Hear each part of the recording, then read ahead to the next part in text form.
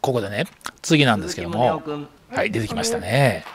委員長あの冒頭ちょっと混乱したように見えましたけども委員長が適切に議事進行されてその姿に私は敬意を表しますはい、いつもの胸を節でスタートしまして、鈴木さんがね、今回の入管法でいろいろ言うんですけども、最後のところでね、これだけ一つ言わせていただきたいと釘を刺したんです。これが今回の大問題のポイントでございます。望月磯子という名前が出てくるんですよ。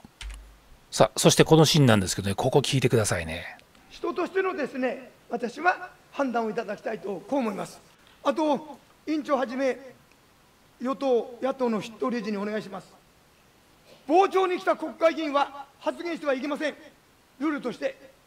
今日は良識の参議院とは思えないほどですね、この立憲民主党、共産党の人たちが来てですね、